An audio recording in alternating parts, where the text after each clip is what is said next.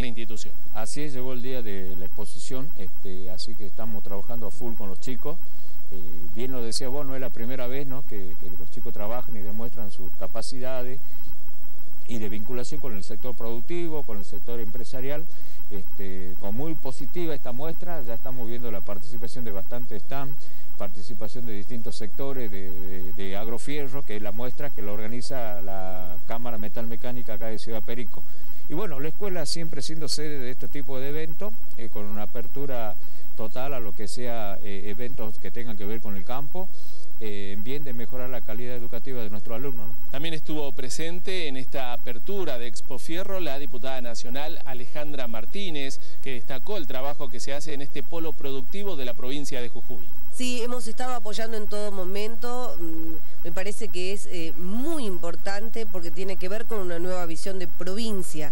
El hecho de que se agrupen personas que trabajaron en sectores de la metalúrgica en su momento, cada uno por su lado, pero que comprendan que la forma en que ellos pueden fabricar sus productos, eh, generar nuevos mercados, dar a conocer, o sea, mejorar todo lo que tiene que ver con la cadena de comercialización, es esta, articulando, reuniéndose, organizándose. Y lo están haciendo, se han convertido en una cámara metal mecánica están articulando con el gobierno de la provincia, que por supuesto está gustoso de poder acompañar también ese crecimiento, y por otro lado es el ámbito en el que se desarrolla, que es la escuela agrotécnica. También participa de esta exposición la gente del INTA, que colabora con capacitaciones y también con eh, distintos cursos que tienen que ver con eh, eh, esta industria agrometal mecánica. Nosotros estuvimos dialogando con Julio Subieta, uno de sus representantes, que esto nos decía. Nosotros lo que buscamos,